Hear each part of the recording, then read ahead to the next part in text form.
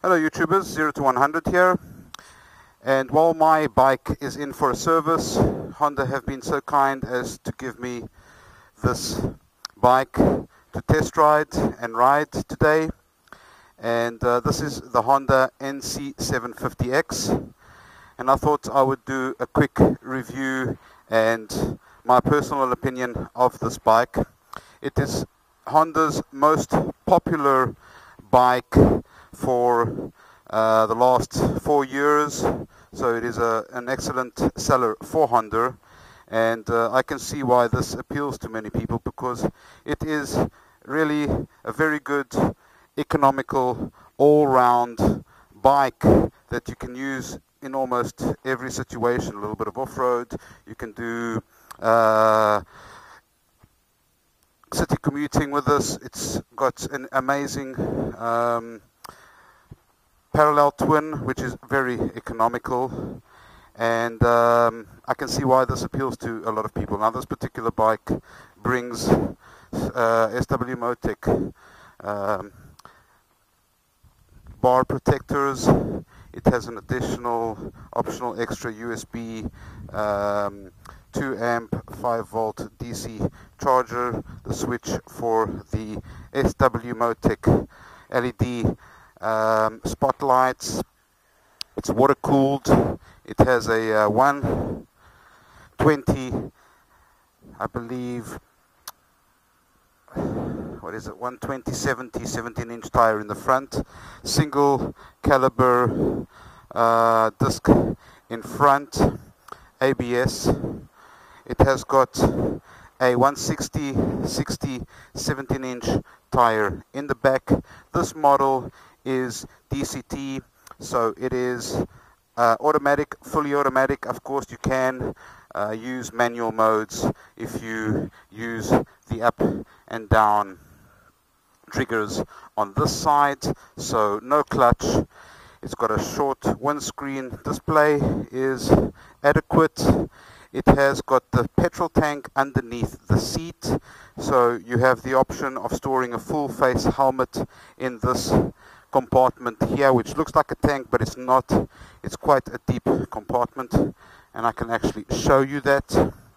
So you've got plenty space here to store a full face helmet which is nice. Let me show you the display as well.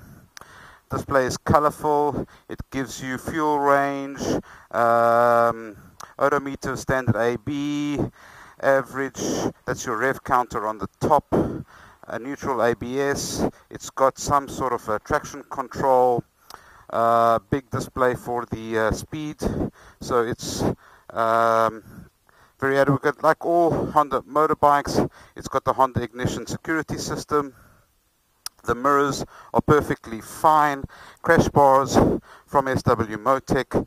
It has got a uh, big crash plate to protect the oil sump um, these are all optional extras, I believe, on this particular bike.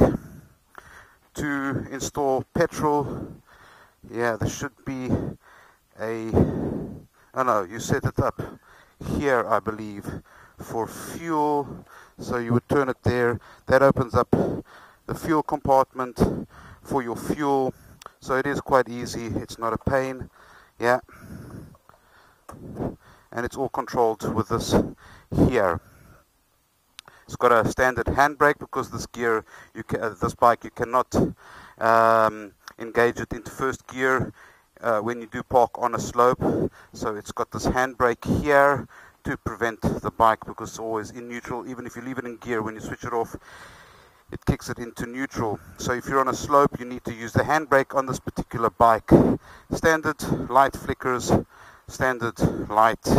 Uh, it's got a bit of an adventure feel. This is Honda's bestseller because it does really, really well as a city commuter. And this is Honda's best-selling bike for the last four years since when it was introduced, I believe, back in 2012.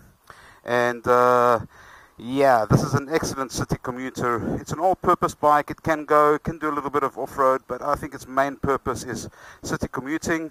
It does very well at that. it's a little sluggish on the uh, revs, so it keeps the revs low, of course, for uh, one of the reasons why it is so economical. So it's not a it's not an extremely fast bike. It's not an extremely aggressive bike. Um, people say that it is kind of dull. I think that it serves its purpose well. I think that uh, it can reach well above um, city limits. So I've done 180 on this bike, no problem. It's enough. I mean, it's not going 200, 230 uh, like on some of the bigger engines, but in the city you don't need uh, that all that power. With 54 brake horsepower and the savings that you have on fuel, that's all you need, yeah? If you want an exciting bike, then you would buy an exciting bike, something sporty or something racing. This, for everyday purpose, it's perfect. It's really great. Well done, Honda. I like this bike. It's beautiful. I like it. It looks great. So, it's easy to ride. It's very comfortable. It is easy to ride. It's very comfortable. It's the windscreen doesn't really help much. It's like riding a naked. You would have to go probably third party wind protection if you want to get a little bit better because riding this on the highway it was hitting me uh, in the face so the windscreen doesn't serve any purpose I think it's just for show and uh, you would have to go aftermarket if you really want uh, better wind protection on this bike rear view mirrors perfectly fine, nothing wrong with that. Final drive is chain, suspension, uh, more than comfortable, you don't need to worry about that. So guys, let's take it for um, a bit of a ride, yeah, and see what it's all about.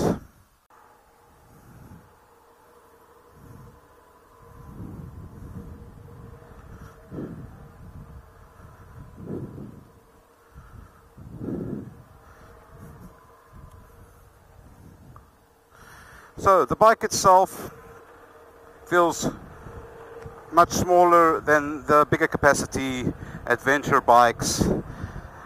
So this bike automatically feels like a uh, smaller street naked. That's my first impression now. It is very comfortable to ride. Seat height is just perfect. It does have the same uh, problem that I had with a Crossrunner with the foot pegs sticking out right where you put your feet on the ground. But uh, it's got that same very clever mechanism that uh, if it's in your way, you just kick it back and it falls quite easily. Now, on you have two different riding modes with this bike. You've got D and S, and uh, dynamic mode just goes through the gears a lot quicker. It keeps the gear ratios and the uh, revs down so it changes quickly. Whereas sportier mode, it does give it more of an aggressive feel and this is the, the mode that I've been riding in. And uh, again, this bike for a 750cc, it delivers. It does what it's supposed to do. The only real thing that uh, I don't like on this bike, it's a naked bike. You have the same amount of wind hitting you. Now I'm doing 83 kilometers an hour and uh, already I can feel a lot of a lot of wind. So the mirrors adequate. Nothing wrong with the with the mirrors. Brakes are good so you don't have that uh, top heavy bike so uh, needing the two uh, dual discs in front. ABS again comes standard with these bikes. It does corner nicely. Weighing it in uh, weighing in at uh, 220 uh, kilograms the bike does fine yeah? Again DCT is always good. You don't need to whack it in neutral or find first gear as in that situation the light turned green. All I needed to do was accelerate get ahead of the cars and uh, I'm doing already 140 kilometers. So why would you need more power than this in the city? If you want to have more power then you would buy yourself a sportier or something um, with a little bit more oomph. So the bike itself it's an upright sitting position very comfortable nothing wrong seat a little bit hard could be improved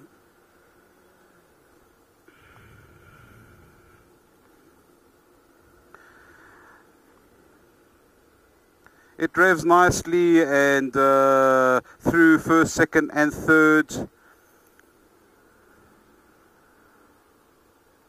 Let's wait for the traffic lights.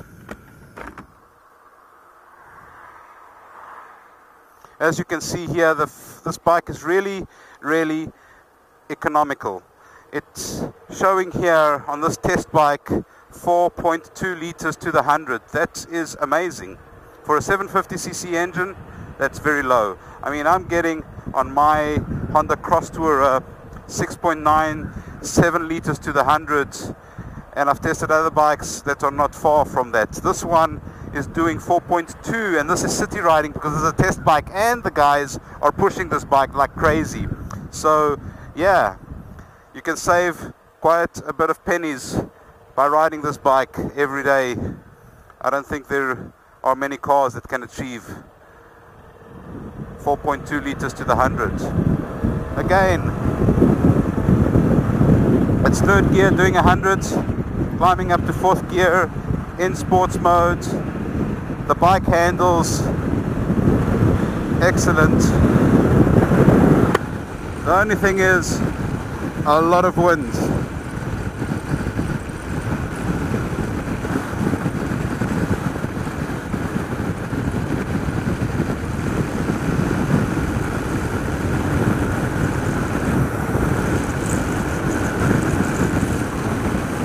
So that's me doing 150 kilometers and again the wind factor is just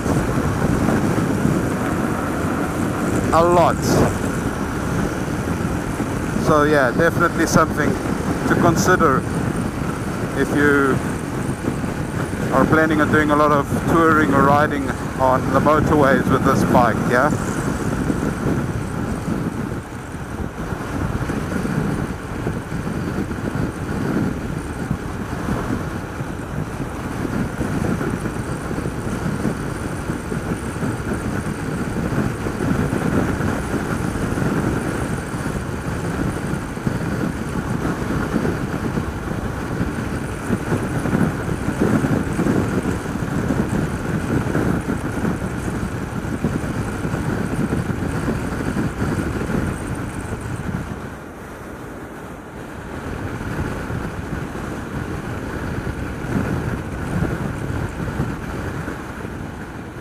Brakes are good. No complaints in that department. It does corner well.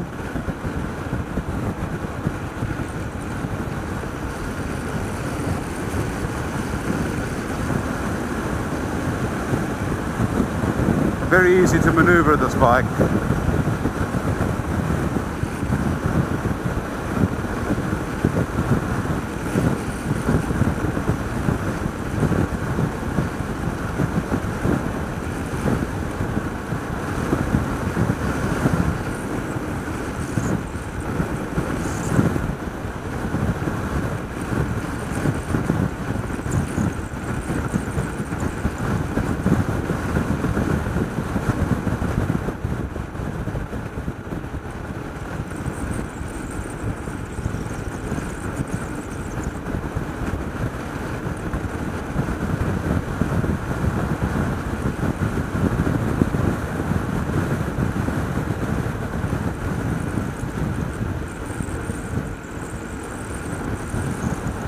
For motorway riding, this is all you need basically. I'm having no problems in taking over the slower cars and uh, definitely more than enough power for an everyday commuter.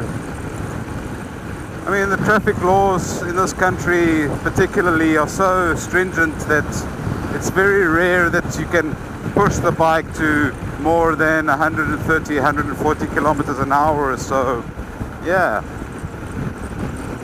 And still, you have power to go.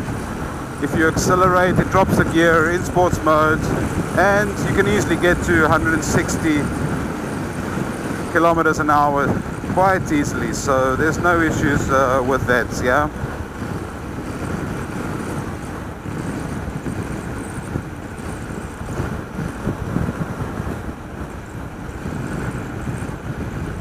I do like this bike and if I had the space and if I had the money and uh, I could afford more than uh, one bike I would definitely consider buying this bike to ride every day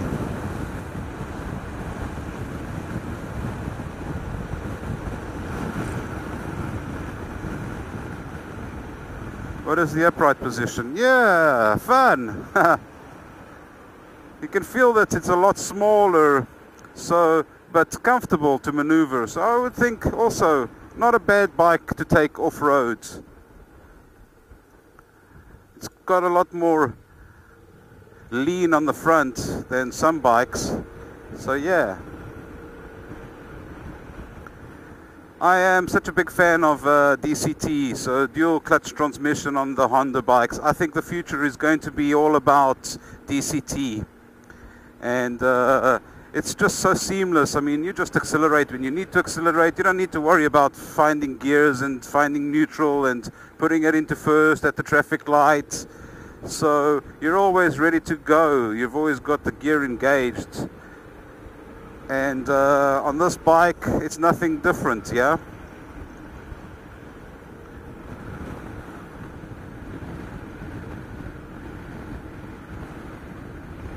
Nothing different.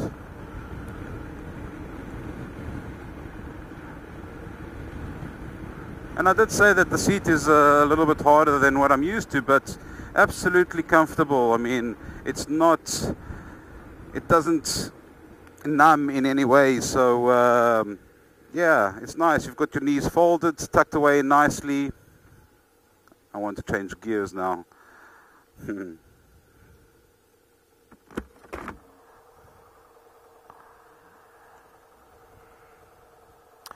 display information is a little bit cluttered, um, but it's got everything that you need. And again, it's got no handlebar settings, so you've got to actually press to do the settings on the actual display.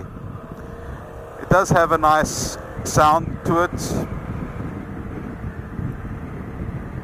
So the exhaust sounds good, but uh, I would probably change it to an aftermarket exhaust just to give it a little bit more make a little bit more noise. So the bike itself is quite a good looker. I like the looks of this bike. It's got a smallish exhaust which is nice.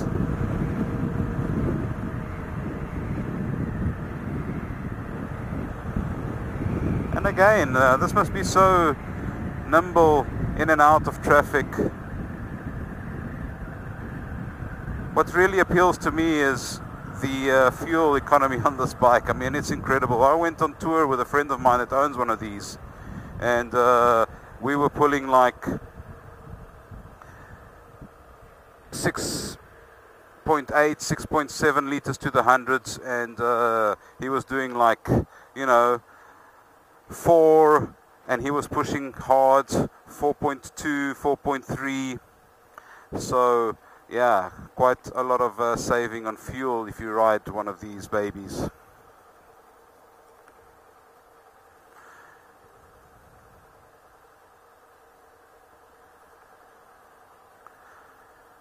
Again, I have not spent too much time on this, riding this bike. I've got to get it back to the dealer and pick up my own bike, but uh, I do think that uh, it's a good overall package.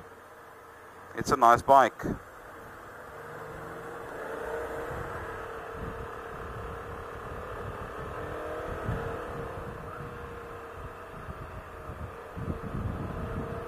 Really easy. 220 kilometers, uh, 220 at 220 kilograms, you can feel that all the weight is uh, very, very low down. So you don't, it's not that top heavy. It actually feels light on top. And the suspension as well is very, very good. Nothing wrong with the suspension. I mean, I'm riding on quite a bumpy road and uh, have no real shockers. Oh, this is closed, so I'm going to have to go the long way around, which is fine. Oh, they've got a detour here. It's not so bad.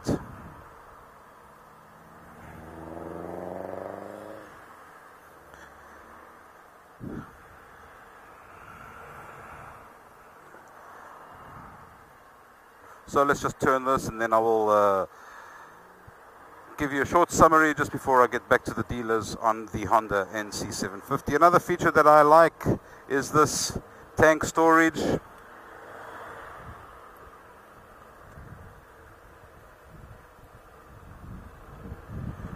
Very easily maneuverable. You can lean this bike, I think, quite comfortably.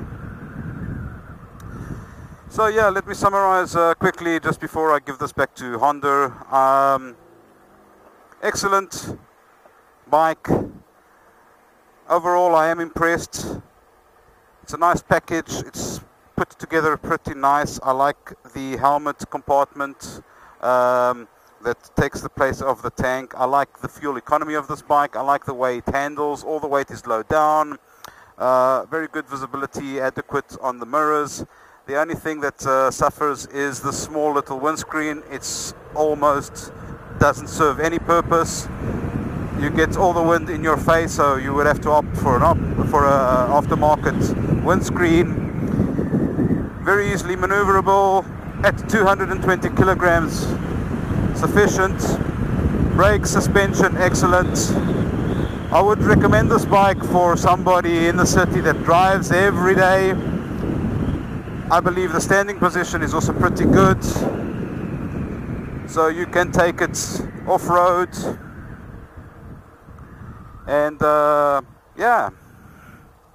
I think at this price point this is an excellent bike honestly. And I can see why uh, this appeals and why this is Honda's uh, best seller. Nothing else to say about the Honda NC750 Honda well done. Great little bike. Well it's not that little it's 750 so Honda great. Guys thank you for watching this is 0 to 100. If you like the video, give me the thumbs up, share, subscribe, help a guy grow his channel. It's always much appreciated. Thank you so much for your support. Peace out. 0 to 100. Over and out. Bye bye.